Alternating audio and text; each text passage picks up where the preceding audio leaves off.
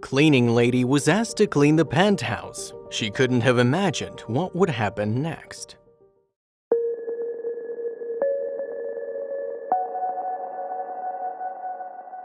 The COVID 19 pandemic has left a lot of people struggling financially.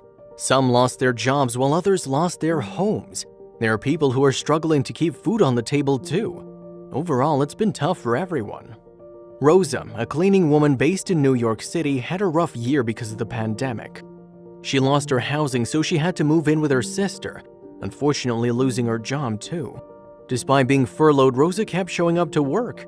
Even if she's not being paid to clean people's houses, she still did it. That's not surprising at all, it has been her job for 20 years. Work is a part of her everyday life and not something she'd give up easily. After knowing what Rose has been going through, the residents of the apartment building she's working in decided to do something for her.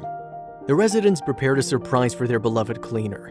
For that, they reached out to a couple of realtors and they readily agreed to help. Together, they carefully planned everything. The realtors took Rosa to a huge apartment. They showed her the place but didn't explain why. In her mind, Rosa thought she was brought here to clean the place before a showing. The apartment's far from simple. It has four bedrooms and three bathrooms. It also has two terraces with a magnificent view. After touring the place, the realtors asked Rosa to get inside. There, they revealed the exciting surprise the penthouse was for her. One of the realtors explained the residents have grown fond of the old lady. They decided to chip in to pay the rent so that Rosa can live in the building. The apartment is hers for the next two years.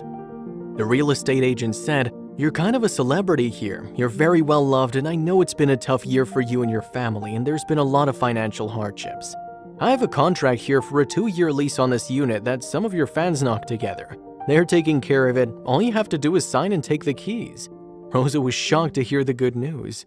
Oh my god, I can't believe this. This is so unreal, she said in disbelief.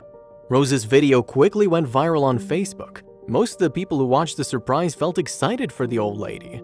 One of them said, The best story I've seen in many months. What a wonderful gesture these people did for that very deserving lady. Tears, bravo. And another commented, Thank you for sharing Rose's story. With all the negatives we hear daily, this was wonderfully refreshing. When not having to worry about rent the next two years, she'll have the opportunity to save for something of her own. She deserves it.